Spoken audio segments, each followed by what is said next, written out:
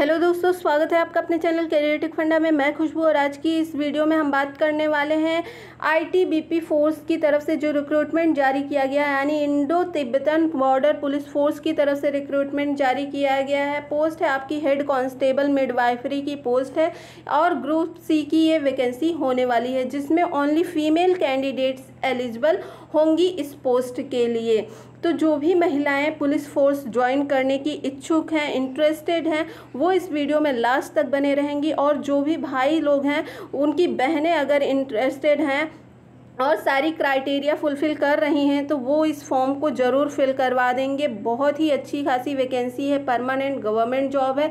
पे स्केल की बात करें तो यहाँ पर पे स्केल भी बहुत ही अच्छा खासा होने वाला है। साथ ही साथ आपको बहुत सारी फैसिलिटीज़ डियरेंस अलाउंसेस वगैरह और एकोमोडेशन यानी रहने खाने की सारी व्यवस्था यहाँ पर आपको देखने को मिल जाएगी। अब हम इस वीडियो में आपकी इसेंशियल क्वालिफिकेशन क्या होने वाली है, इसके बारे में भी बात करेंगे। पे स्केल कितना रखा गया है सिलेक्शन प्रोसीजर क्या होगा एग्ज़ाम पैटर्न क्या होगा, सभी टॉपिक्स पर हम यहाँ पर डिटेल में बात करने वाले हैं। तो वीडियो में लास्ट तक बने रहिएगा। और अगर आपने अभी तक हमारे चैनल को सब्सक्राइब नहीं किया है तो ज़रूर से सब्सक्राइब कर लीजिए। आगे ऐसी ही जॉब अपडेट सबसे पहले पाने के लिए।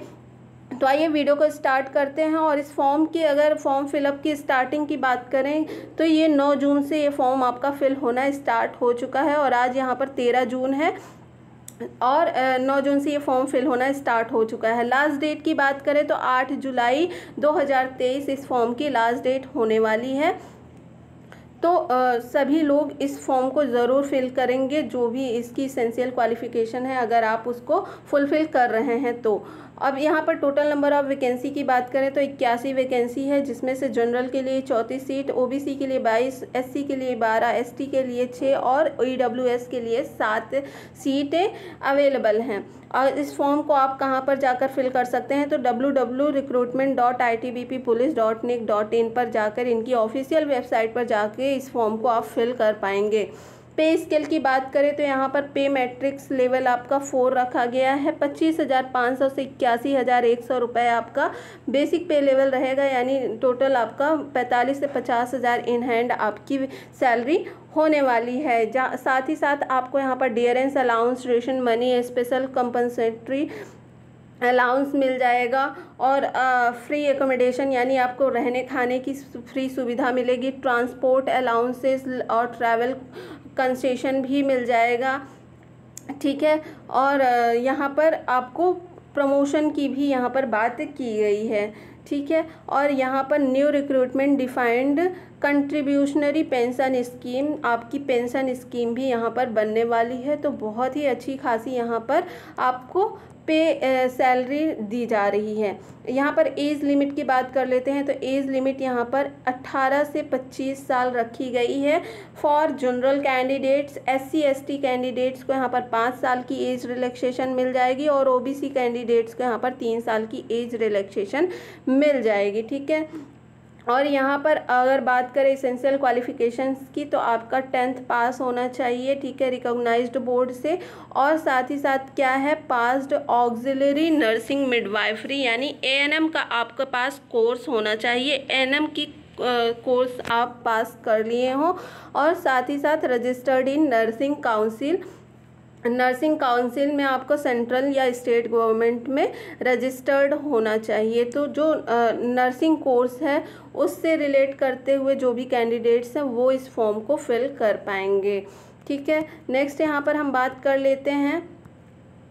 ये आपकी कैटेगरी जो कि मैंने बता दिया एस सी को पाँच साल का ओ बी सी को यहाँ पर तीन साल का एज रिलैक्सेशन मिल जाएगा। ई एक्स सर्विस की यहाँ पर दिया गया है। तो ये नोटिफिकेशन आपको टेलीग्राम ग्रुप, हमारे कैरियर टेक फंडा नाम से टेलीग्राम ग्रुप है, वहाँ पर आपको ये फुल नोटिफिकेशन मिल जाएगा तो वहाँ पर ज्वाइन होके इस जो है नोटिफिकेशन को आप डाउनलोड कर सकते हैं या फिर आप आईटीबीपी की ऑफिशियल वेबसाइट पर भी जाके इस नोटिफिकेशन को देख सकते हैं। ठीक है? यहाँ पर अब हम बात कर लेते हैं फ़िज़िकल स्टैंडर्ड टेस्ट होगा आपका पीएसटी होगा। फ़िज़िकल स्टैंडर्ड टेस्ट में आपको क्या क्वालिफाई करना होगा? स्टैंडर्ड रखा गया है आ, महिलाओं के लिए जो हाइट है एक सौ सत्तावन सेंटीमीटर होनी चाहिए। ठीक है, चेस्ट यहाँ कुछ भी नहीं है कैंडिडेट फिलिंग द कैटेगरीज आपका गहरवालिस, कुमोनीस गोरखाज इन सब क्षेत्रों में जो रहने वाले हैं, उनके लिए 155 सेंटीमीटर रखा गया है, ठीक है। और candidates hailing from north eastern state of Arunachal Pradesh Manipur Meghalaya Mizoram Nagaland Sikkim इन सभी प्रदेशों के जो कैंडिडेट्स हैं, उनके लिए एक सेंटीमीटर आपका हाइट मांगा गया है। All candidates belonging to the scheduled tribes hailing from north eastern state as above the left wing extremism affect district के लिए यहाँ पर एक सौ सैंतालीस दशमलव पाँच सेंटीमीटर रखा गया है और all candidates to the scheduled tribes other than north eastern state than left wing extremism affected district के लिए एक सौ पचास सेंटीमीटर हाइट मांग गई है। अब यहाँ पर ये आई साइट है तो ये आप देख लीजिएगा। किसी भी प्रकार के टैटूज से रिलेटेड अगर कुछ है तो ये यहाँ पर दिया गया है। और अप्लाई करने के लिए मैंने बताया कि आईटीबीपी की जो ऑफिशियल वेबसाइट है, वहाँ पर जाके इस फॉर्म को आप अप्लाई कर पाएँगे। एप्लीकेशन फ़ी की बात करें तो यहाँ पर किसी भी प्रकार का एप्लीकेशन फ़ी किसी भी कैंडिडेट से नहीं लिया जा रहा है, चाहे वो जनरल कैंडिडेट्स हो या ई डब्ल्यू एस या ओ बी सी कैंडिडेट्स हो, किन्हीं भी कैंडिडेट से यहाँ पर एप्लीकेशन फ़ी नहीं लिया जा रहा है। सिलेक्शन प्रोसीजर की बात करें तो सिलेक्शन प्रोसीजर के लिए आपको पीईटी पीईटी क्वालिफाई करना हो, होगा पीएसटी क्वालिफाई करना होगा और एक रिटर्न एग्ज़ाम देना होगा। अब यहाँ पर पीईटी क्या है? फ़िज़िकल एफिशिएंसी टेस्ट है, जिसमें आपसे क्या करवाया जाएगा? 800 मीटर की दौड़ करवाई जाएगी। कितने टाइम में? चार मिनट 45 सेकंड के लिए, में आपको 800 मीटर जो है, दौड़ना होगा। लॉन्ग जंप कराया जाएगा, जिसमें आपको तीन चांसेस मिलेंगे। नौ नौ फीट की लॉन्ग जंप होगी। हाई जंप तीन फीट की होगी, जिसमें आपको तीन चांसेस दिए जाएँगे। ठीक है? अब यहाँ पर नेक्स्ट हम बात कर लेते हैं फ़िज़िकल स्टैंडर्ड टेस्ट पीएसटी के लिए। तो इसमें हाइट और वेट आपको जो है स्टैंडर्ड किया गया है तो उस हाइट और वेट को आप फुलफ़िल करेंगे तो ही आप पीएसटी को क्वालिफाई कर पाएँगे। अब पीईटी और पीएसटी क्वालिफाई करने के बाद आपसे एग्ज़ाम रिटर्न एग्ज़ाम लिया जाएगा। दो घंटे का एग्ज़ाम होगा। टोटल नंबर ऑफ़ क्वेश्चन यहाँ पर हंड्रेड रहेंगे। ठीक है? और ये हंड्रेड क्वेश्चंस आपके ऑब्जेक्टिव टाइप रहेंगे। और ओ एम आर बेस्ड ये मतलब ऑफलाइन आपका एग्ज़ाम कंडक्ट करवाया जाएगा।